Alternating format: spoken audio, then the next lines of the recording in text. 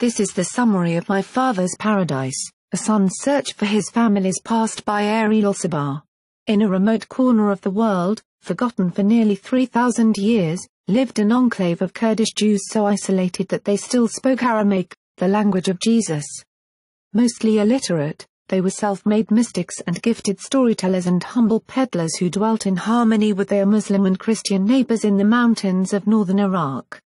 To these descendants of the lost tribes of Israel, Yonah Sabar was born.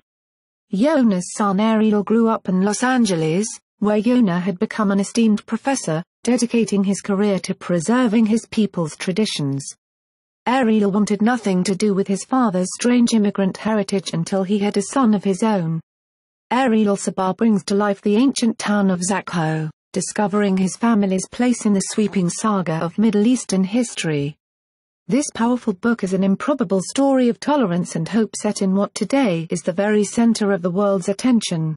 For more history books and book reviews visit www.historybookmix.com.